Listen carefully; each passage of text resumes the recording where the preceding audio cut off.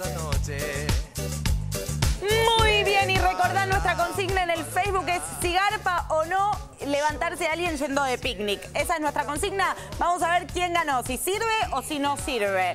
Bien, ahora en un ratito Santi me da la resolución final porque ahora mostramos la riñonera cartuchera. Vendría. No, riñonera, no cartuchera. Riñonera terminada. terminada, ahí está. Te cuento rápidamente qué es lo que hacemos. Ponemos frente con frente de la espalda y del frente, costura todo, todo, todo por el borde y por el cierre simplemente lo que hacemos es darlo vuelta para que quede totalmente lista nuestra riñonera. Me encanta, Para metemos las servilletas, metemos el mate, todo ahí adentro. Todo, todo, todo. Me encanta. Vení, acompáñame. Entonces nos venimos acá. Eduardo, te invito Venga, venga. A, a cerrar nuestro programa. Antes que nada, agradecerle la visita de Eduardo, un talentosísimo con un fuerte Gracias, aplauso.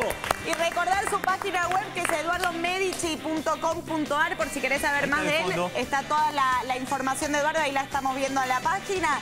Muchísimas gracias, Eduardo, por haber venido. Un placer tenerte aquí. ¿Resolución? Resolución final. Todo el país dice que de picnic garpa. Hoy todo el país termina mi mano y se va al Qué bueno. Mañana tenemos una flor con una foto con Dani. que la música de fondo es la serenata, una guitarra y la bebida el mate. Y con eso el amor surge. ¡Ah! Ay, qué bien, romántico. frase. La frase final es de una canción de Leonardo Fabio, Ni el clavel ni la rosa, y dice así. A veces presiento que mi alma está en sombras, entonces me inclino, te beso y hay luz. Qué lindo, me encanta, un romántico. Un fuerte aplauso, claro que sí, en lo que es nuestro homenaje a Leonardo Fabio desde aquí. Para todos va a seguir presente, por supuesto, en sus canciones, en sus películas, así que lo recordamos como eso, como un gran artista y con ese legado enorme que dejó en la cultura argentina. Muchísimas gracias a todos, compañeros. Gracias. Hemos llegado al final, los dejamos con Cocineros Argentinos y nos volvemos a encontrar, como siempre, mañana a las 10 de la mañana en vivo por la pantalla de la televisión pública y nos vamos porque no queda nada. Chau, hasta mañana. Ella ya me olvidó. Yo,